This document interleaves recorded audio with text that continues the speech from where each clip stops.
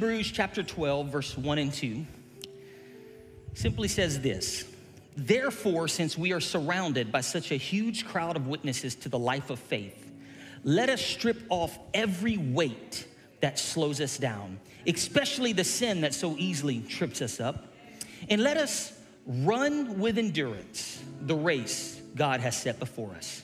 We do this by keeping our eyes on Jesus, the champion who initiates and perfects our faith.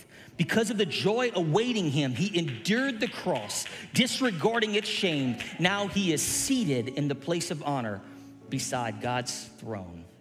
Let's go to the Lord in prayer before we before we jump into this scripture and, and, into this word. Let's go, let's pray right now. Father, in the name of Jesus, I thank you for all you've done in this place already through the great worship.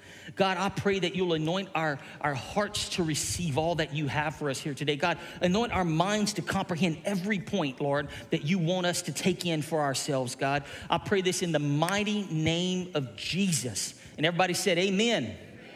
Amen. You may be seated. I'm going to preach to you for a few moments from the title Run Your Race.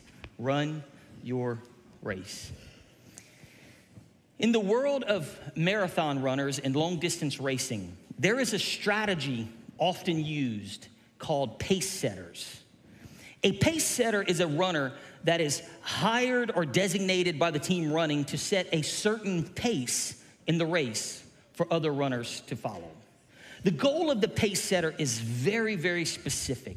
You see, the pace setter isn't there to race for the front or, or, or, sleep in the back of the pack and conserve energy for a future sprint. No, the pace setter is meant to run at a very specific speed that ensures a fast finishing time for the participants who choose to follow that pace. If they follow the pace of the pace setter, they will make this specific speed at the end.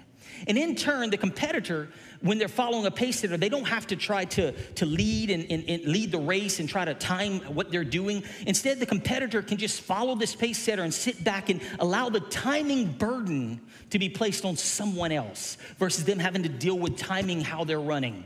And, and by doing this, they're able to prepare for the final push to the finish, and, and ultimately, they're able to finish their own race with the best possible time in certain types of races, uh, they actually, because they believe in the concept of pace setters so strongly, it, they actually allow certain, they, they allow a set of pace setters to run the first half of the race, and then they'll, they'll actually veer off in a certain area of the race, and a new set of pace setters join the race to keep the time very specific so that, so that they all have the ability and stamina to set the most optimum pace for the run, the ones that are running the actual race. Now, if you look into the world of racing, there is, there is a good bit of controversy in the running world on if pace setters are, are good for the sport. The ones against a pace setter say that it, it makes the race boring. If, if, if, you if you if you you know if you don't have one, uh, often the marathon has an excitingly uh, decidedly unexciting end to it simply because those who cannot hold the fast pace end up falling behind.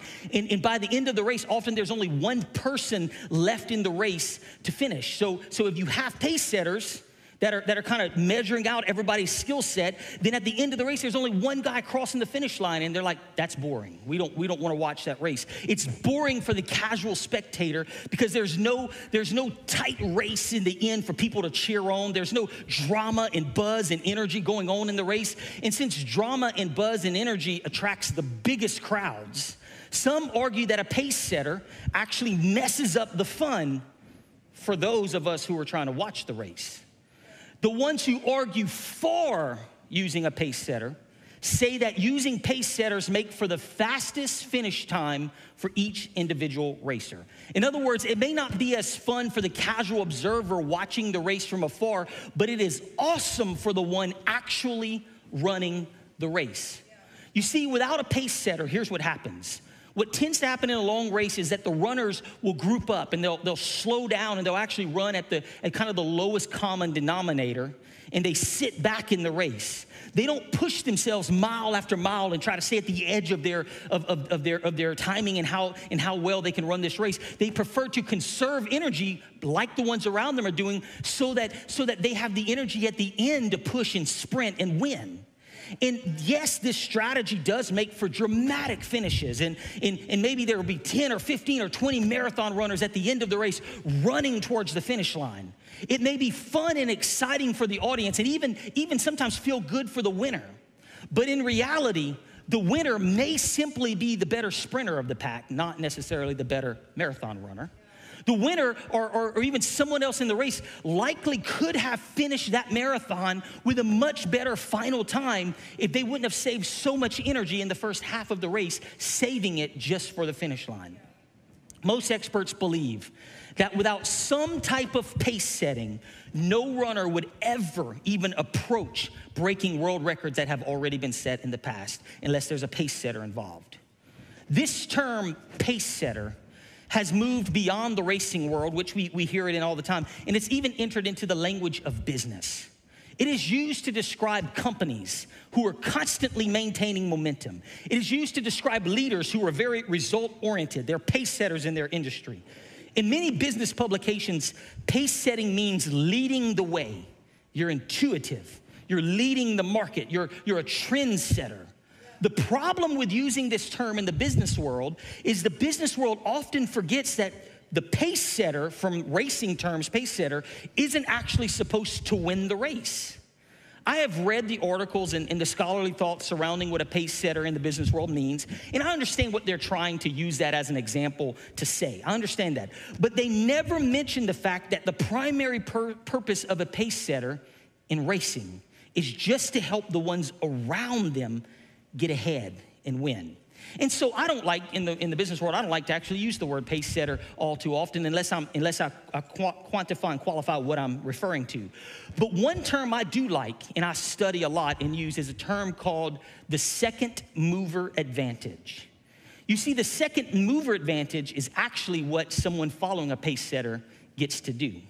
It, the, the, second mover advantage refers to companies that don't normally lead the newest cutting edge innovation, but instead learns from the pace setters near them doing that innovation. And instead of, instead of trying to copy exactly what they do, they watch them and they wait, and then they improve on what they're doing and they enjoy a second mover's advantage. This strategy often means they're not in front of the pack in what they're doing but their strategy virtually assures that the second mover normally always wins the race. Let me give you some examples. Rarely is Apple first to introduce a product or feature. In fact, it's kind of funny because when they announce their new features in every iOS version, you always have those Samsung users who are saying, We've had that for five years. And they're right, because Apple rarely leads the way in new features. But what they do is they learn from the pace setter near them and they come out with a better way of doing the same feature. They enjoy the second mover advantage. And because of that, rarely does Apple ever have a failure or product feature failure. They, it just gets incorporated into its, its ecosystem and everybody says, wow, it's the greatest thing that ever happened. Because of that overall strategy, listen to this Apple is the largest company in the world ranked by market capital. Apple is valued at $3.441 trillion as of September 2024. And no, I didn't miss it. Did you mean to say billion? No, they have over a billion dollars of cash on hand, buddy. I'm talking, they're valued at $3.441 trillion as of September 2024 because they employ the second mover advantage. Facebook and Instagram were not the first social media sites by far. The first mover of that technology was something called Six Degrees. I've never even heard of that. I had to Google what was the first social media company, the, the trendsetter of social media, Six Degrees. And then another one came out called Friendster. And another later, MySpace. Some of us got more familiar with MySpace. Oh, yeah, we remember MySpace till it died and went away. But Facebook and Instagram enjoyed the second mover advantage. They learned from others to win the market.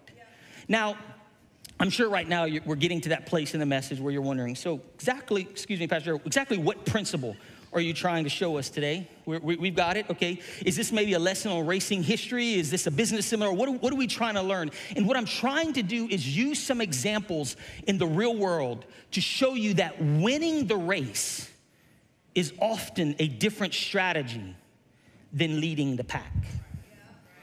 See, often we think about racing and we're like, the, the guy that's gonna win is gonna be the guy out front of everything. He's leading the pack. And what you'll find if you watch a lot of racing, what you'll find if you look at a lot of business principles, often the one leading the pack isn't the one who wins the race. Even, even when the strategy seems counterintuitive, so, sometimes the right call in a race is that you have to let runners pass you up.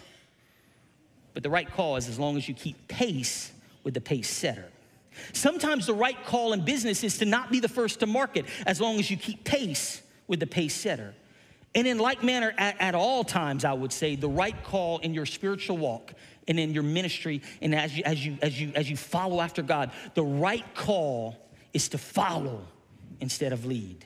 Listen to what the Word of God says. You're like, oh, but I'm called to be a leader. No, no, no, no, no. Listen to what the Word of God says in Hebrews 12 and 1. Therefore, since we are surrounded by such a huge crowd of witnesses to the life of faith, let us strip off every weight that slows us down, especially the sin that so easily trips us up, and let us run with endurance the race God has set before us. And I need you to catch this next part. How do we run with endurance the race God has set before us? Verse 2 says, We do this by keeping our eyes on Jesus. Let me tell you, if you're leading the pack, you can't keep your eyes on Jesus. There's something about letting Him get out in front. He is our pace setter. We do this by keeping our eyes on Jesus. What I'm trying to show you is Jesus sets the pace. And if we will keep our eyes on our pace setter, he will, he will slow things down if we're perhaps going faster than we were prepared to go. And He will speed things up if we're perhaps being a little slower than we're capable of doing. He has designed our race from the beginning. It's a personalized race, and He wants you to win your race. Point at yourself, my race. The Bible says in Psalms 139 13, For you created my inmost being. You knit me together in my mother's womb. Listen to me carefully today. He didn't just create you and I in a mass factory run, just cookie cutter. This is the standard. I just pop, pop all this out. This is how it all looks. He took time on you and he took time on me. He knit us together in our mother's womb. We are handmade, not mass made. He has a plan for you. You are unique to him. I'm trying to remind you that we were created by the King of Kings and the Lord of Lords, all for His glorious purpose. And I know that because Jeremiah 29 and 11, one of my favorite verses in the whole world says, For I know the plans I have for you, says the Lord. They are plans for good and not for disaster, to give you a future and a hope. God has a purpose for each of us, a plan for each of us. Psalms 37 and 23 says, The steps of a good man are ordered by the Lord, and he delighteth in his way. The race set before you was designed and orchestrated by our Lord and our Savior. And he is the pace setter to make sure you win that race. Now, our strategy, our strategy should be very simple when it comes to this race, this marathon of life that we're all in right now. Our strategy should be simply this keep our eyes on Jesus. He is the way, He is the answer, He is the only thing that matters. Our strategy is keep our eyes on Jesus. John 13 and 15 says it this way I have given you an example to follow. Do as I have done to you. Jesus sets the pace. And if we will follow his example, I'm telling each and every one of you, we will win our race. Now, in researching about pace setters, I learned that in some major marathons like Berlin and Chicago and London, there are multiple pace setters in the race to set the pace for all levels of runners.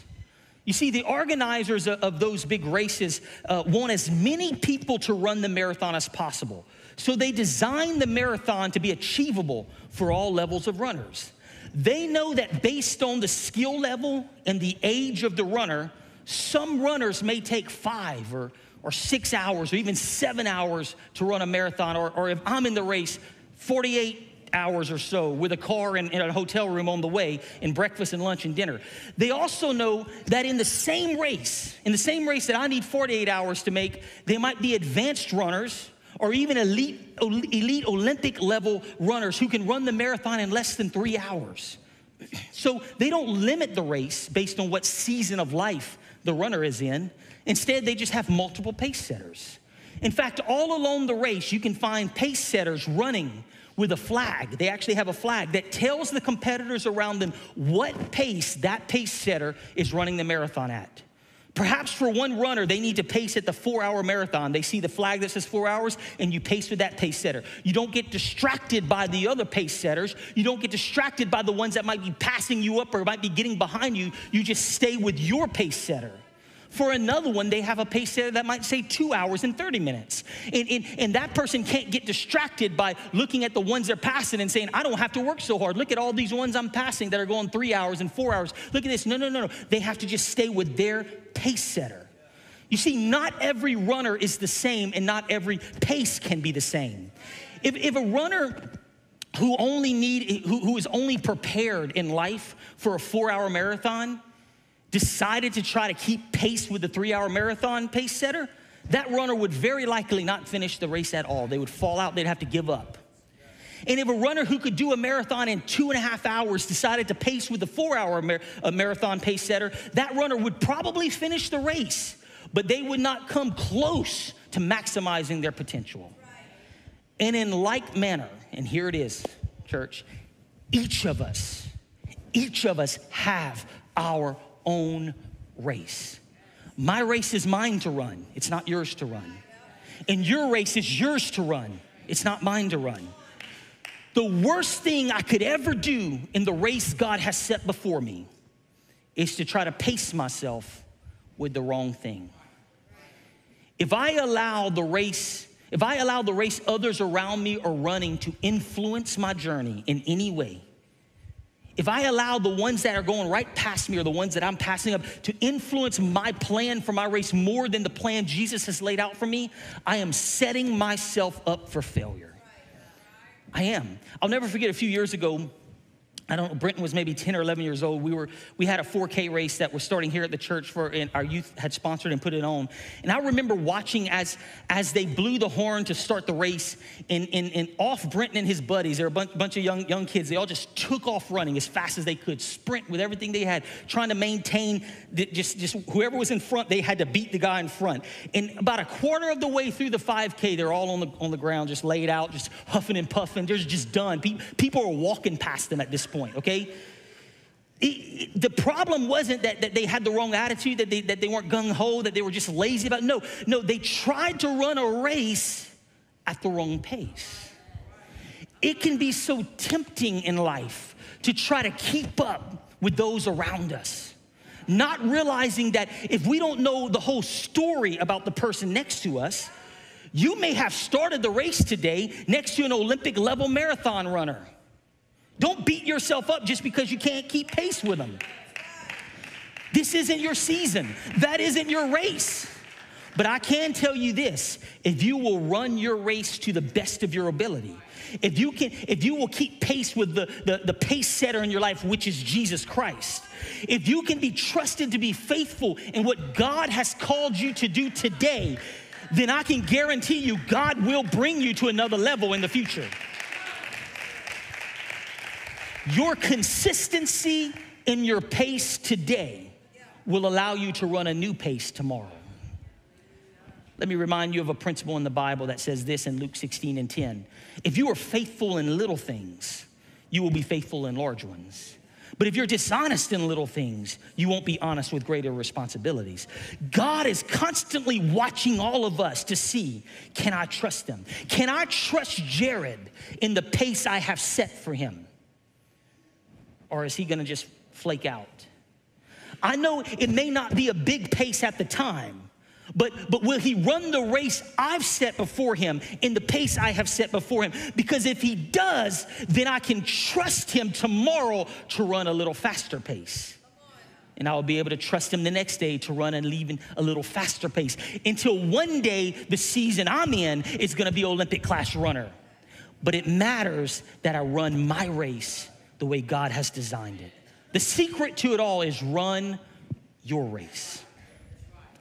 Unfortunately, as I've already hinted at, the greatest obstacle, the greatest obstacle to moving to a new pace in a new race is the desire to match the pace of those around us, the desire to run someone else's race.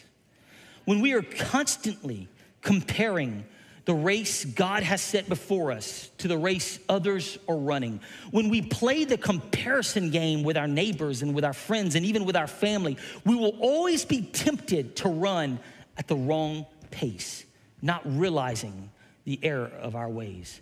Pastor Jonathan has been preaching about distractions this past Sunday and this past Wednesday. And, and I, want, I want to tie into that for a moment and tell you when you're constantly getting distracted by the ones going by you, either faster or slower, and you start changing what you're doing, you are not running the race God has designed for you. They, they, they have this thing with horses where they'll put blinders on them so they don't get distracted. And in racing, our, in, in, in being in our own race, sometimes we need to put blinders on ourselves so that we stop getting distracted by what others are doing Just because they can do that very well doesn't mean I have to do that very well to win my race. I need to run my race. Theodore Teddy Roosevelt, our 26th president of the United States, he said it best about comparison when he said this. He said, Comparison is the thief of joy. Comparison is the thief of joy. Listen to me today. The surest way to be miserable in your own God ordained purpose in this life is to compare your purpose with someone else's purpose. Your purpose is unique to you. Remember, He knit you together in your mother's womb. You're special and unique. Your calling is unique. The race you are running is unique to you. I'm reminded of Romans chapter 12, verse 6, when the Apostle Paul tells the Roman church this. He said, In His grace, God has given us different gifts for doing certain things well. So if God has given you the ability to prophesy, speak out with as much faith as God has given you. If, if your gift is serving others, serve them well. If you are a teacher, teach well. If your gift is to encourage others, be encouraging. If it is giving, give generously. If God has given you leadership ability, take that responsibility seriously. And if you have a gift for showing kindness to others, do it gladly. What he was trying to tell us is for the church to function right. God has given us all unique gifts. The problem only comes when we start trying to do what our neighbor's gift is, and we leave a hole in what our gift is is. God has given each of us different gifts for doing certain things well. But often in the curse of comparison, we just try to mimic what others are doing around us and we leave holes in the kingdom of God. We leave the gifts God reserved for us behind, trying to do something else. And let me tell you how God has to correct that because God will never let his church go astray. He will always keep his church going the direction and the plan he has for his church. But your role in what's going on in the church may have to shift. And so you were running this pace but now you got distracted and you're over here on this pace, and God says, Well, I'm gonna have to slow Jared down, put him over here, and I'm gonna put this person back in their place because my church will not stop. I will still keep moving forward. We will still have this plan go forward. I've said this so many times the enemy can't stop the, the, God from doing something great with his church. The enemy can't stop the plan of God, but he can mess with our role in the plan by distracting us. We have to follow the right pace setter. Listen, when we, I, I got a question for you. I want you to consider this. When we follow the wrong pace setter, sooner or later, let me tell you, we will become miserable, tired, and frustrated at our lack of progress. And it's not because we're, we're, we're, we're, doing, we're, we're in the wrong place, the wrong location, the wrong church, the wrong, the wrong thing. What, we're, what happened is we are just running at the wrong pace. At the beginning of this message, I mentioned that there are people who are against pace setters they say that pace setters make for a boring race. A race without pace setters often has these great moments of, of, of, drama and energy. If there's no pace setter, then everybody's running around trying to, and there's these great moments of drama and energy, and it's all for the, the audience to enjoy. It's fun for others to watch racers sprinting and pushing for position to lead the race, and sprinting and racing one another for the finish line. It's good for the spectator because running without a pace setter brings a lot of drama to the race. And this same principle does, in fact, carry over into your life. If you run this race without letting Jesus be your pace setter, rest assured there will be a lot of drama in your life for others to look at. if you ever feel like you're constantly sprinting for some progress and then laying on the side of the road trying to get your breath while others pass you by, you might be running the wrong pace. If you ever feel like you're spending more time fighting for a position in a crowd instead of running a steady pace, you might be running the wrong pace. Your race has a pace setter. His name is Jesus.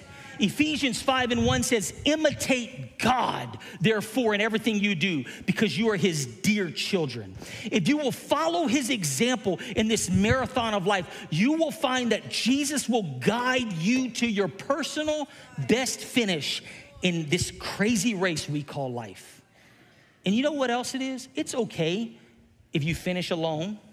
It's okay if you finish that race and there's no drama at all in today's race. You have a new one tomorrow. Don't worry about it. It's okay if there's no excitement at all at the end of it because it's your race, not others' race. You don't need to entertain the ones around you in this life we're, we're, we're trying to live. Don't run your race for the benefit and enjoyment of others. Run the race God has set before you. Growing up, Many of us have heard the, the famous fable of the tortoise and the hare. It's the story of a, this slow moving creature, the tortoise, and, and a swift and quick creature, the, the hare. And the story goes that the tortoise and the hare decide to run a race. And the hare is very confident in his ability to win the race. So he ends up stopping midway through the race to take a long nap. The tortoise is not very fast at all, but what he lacks in speed, he makes up in consistency. The fable ends with the slow and steady tortoise crossing the finish line before the hare, simply because he never stopped, he never waned, he, he stayed consistent in his race. And the point of the story is that consistency matters. And in like manner, that is the purpose of the pace setter in your life. The winning runner may not lead at the beginning of the race, may not lead in the middle of the race, and may not even lead at the beginning of the end of the race. But by maintaining a consistent pace, by following the pace setter no matter what others are doing around them, all too often, consistency wins in the end. The race that Jesus sets before you isn't always the flashy pace. It isn't always the, the, the, the, fastest pace. And very often, unfortunately, it's not even the slowest pace. We have to kind of work to keep up with him. But if you want to win your race at the best time available to you, it will take consistency to run your race and follow his pace. 1 Corinthians 15 and 58 says, Therefore, my beloved brothers, be steadfast, immovable, always abounding in the work of the Lord, knowing that in the Lord your labor is not in vain. Consistency matters. Galatians 6 and 9 says, And let us not grow weary of doing good, for in due season we will reap if we do not give up. Consistency matters. Run your race. Perhaps in this room you're wondering, Pastor, how, how, how would I do this? You, are you're using, you're giving wise, you're, you're using, you know, grand ideas of, of this concept, and, and I'm getting the picture, but how can I be consistent in this race? What does consistency in my walk with God look like? And I'm glad you're, you're wondering that because I need to tell you first, consistency in your walk with God means seeking Him daily. We seek Him daily by setting aside time every day to pray. For your personal race today, that may mean the first three to five minutes when you get up. You know, often when, when we're talking about and I, I, and I encourage you to pray and, and, read your Bible every day. But you'll notice that often, whenever I'm up here preaching, I don't try to give you something, some, some standard you must meet.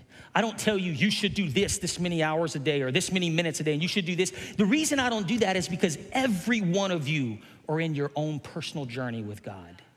And the moment somebody sets a standard that you can't meet, you either do one or two things. You either rush to catch it and you wear out or you give up because you know it's no way you can do it. Or there's a third one, I guess. If it's way behind what you're already doing, you just slow down thinking, I've already done enough. And you step back from what God has already brought you through. There is, there is something so powerful about trying about running your personal race. There may be somebody in this room that has never prayed daily in their life. And for you, if you'll put three minutes in the morning, you'll just get up and the first thing you do is you say, God, I want you to set the pace today. God, you are you are the one I am trying to imitate. Lord Jesus, you are my king, you are my Lord. Lord, for the next couple minutes, I just want to tell you before the craziness of this life starts, I just want to put you first and I want to follow after you. That may be the most you've ever done, but just stay consistent doing it. Consistency matters. For someone else's personal race, you may get up in the morning every day and you pray 10, 15 minutes a day. That's okay. Keep doing it. That's consistency. Consistency matters. For somebody else, it may be an hour a day. That's good. Consistency matters. Don't worry about someone else's time. Don't worry about how they're running their race. Run your race and let Jesus set your pace. The second thing you must do if you want Jesus to be the pace, uh, pace setter of your life is you have to learn to look for Jesus in everything. I encourage everyone under the sound of my voice, learn to do as Paul said and pray without ceasing. And praying without ceasing doesn't mean living your whole life with your head bowed and your eyes closed and, and on your knees just praying. You, you die of, of, of, of dehydration within a, a couple days if you try to do that. Praying without ceasing doesn't mean you never stop praying. Praying without ceasing means that in everything in life, you're seeking his will. In every decision in life, God, I'm putting you first. Lord, I'm, I'm, asking you to lead and guide me. In every moment of, in every, in every step that you take, in everything, in, in every decision you make, you're, you're putting him first. You're seeking his face. You're giving him praise in the good times, and you're giving him praise in the bad times. You're, get, you're, you're living with a state of gratitude in everything you do, knowing that you're running the race God has set before you. That is what praying without ceasing means.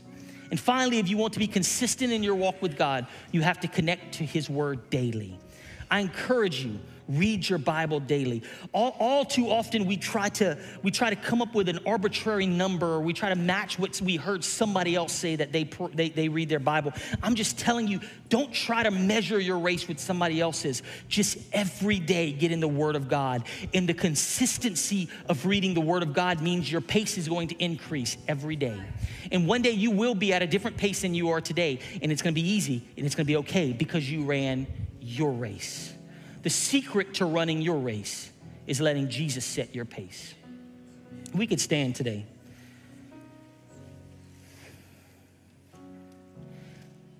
Today, I've come to tell you that we are all called to run our own race. And our Lord and our God, Jesus, He is the only one who should set that pace. To follow the pace setter, we have to strive to be consistent. And the only way to achieve consistency, listen to me today, the only way to achieve consistency is first, it starts with commitment. Commitment to wake up every morning and say, God, today is your day. Well, I've never done that before in my life, Pastor Jared. I've, never woke up in the morning and, and, and made it all about God in my life. Then commit today that tomorrow you're gonna wake up and you're gonna make it all about Him. And that commitment today will continue and turn into consistency every day if you'll follow Him. Today, I believe every one of us can take another step in our level of commitment. I really do. Maybe, maybe you're already doing some things that are just amazing and you're walking with God, but I want to tell you, God never just puts us in a place and says, Well, He's good right there. I don't have to worry about Him anymore. No, God is always drawing us closer. God is always pushing us further down the road. God is always going to push us into a new pace that, that, that we can go further in the kingdom of God. And so, but every new pace in your life starts with a commitment today to go to the next level. So, what I want to do today, and we're going to pray for, for things if you, if you need the Holy Ghost, if you need deliverance, if you need healing in your body, I, I want to pray for all those things. But first, I wonder if we could just gather towards the front because I believe God, during this message, God has placed some things in each of our minds that we need to have a renewed commitment on. So, come on, come on towards the front. You just gather towards the front. It's you, you, you don't don't don't feel uncomfortable about it. This is we, something we do every single week as a family. We just come to the front and we worship God for the last few minutes of the service. But before before we jump into worshiping God, before we, we ask Him to do different things for us, I want to personally pray for each and every one of you in this room. I want to pray that God will give you an understanding of your next level of commitment and that He will show you that if you will commit in this one thing, it will bring a consistency that changes the pace you're on to bring you to a new level in another anointing. So, right now, if you'll lift your hands towards heaven, I want to pray for each and every one of you. Father, in the name of Jesus, you see every single person in this room. God, I pray that you will step into their situation, step into their moment, God, and show them what they need to have a renewed commitment in, God. Show them whatever it is that will take them to the next level. And then, God, give them the strength and the fervor and the power to commit to that today so that they could step into a new pace tomorrow and that you could bring them to greater things in Jesus' name. Father, you see it, God, and I give you glory right now. Come on, let's give him praise in this place. Let's give him praise in this house. Lord, we give you praise in Jesus' name.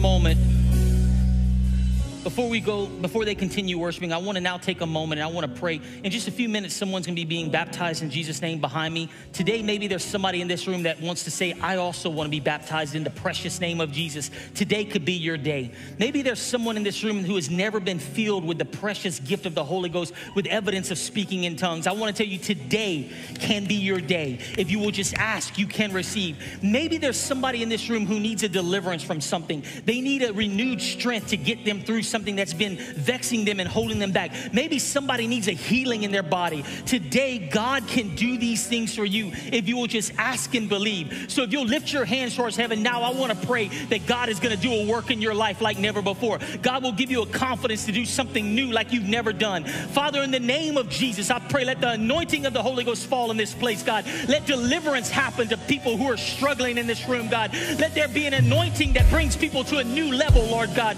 Lord, I pray for healing and let there be people who, who their lives are changed in this moment, God. I pray in Jesus' name. I pray for an outpouring of the Holy Ghost, God. I pray for a new confidence, God. I pray, Lord Jesus, for a breakthrough in the name of Jesus, God. You can provide all that we need, and we give you the glory for it. We thank you for it. In Jesus' name. In Jesus' name.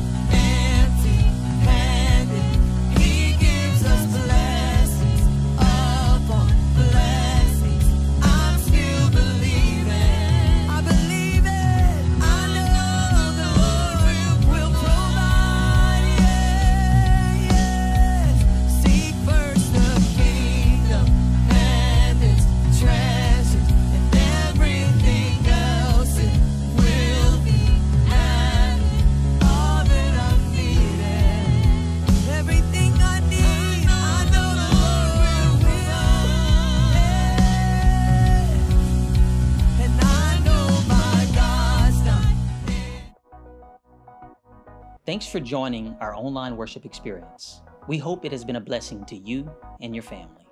We would love to connect with you. You can find us on Facebook, Instagram, or YouTube, or you can go to www.point.church and connect with us there. If you'd like to partner with us in giving, you could download our app, or you could go to point.church and click Give. Thank you so much for joining us today. We look forward to worshiping with you again soon.